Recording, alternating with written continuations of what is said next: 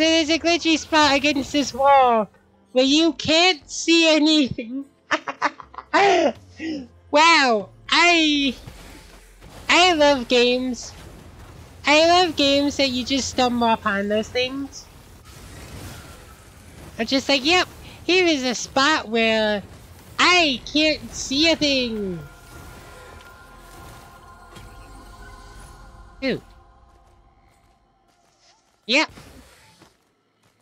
There's no enemies. Ah!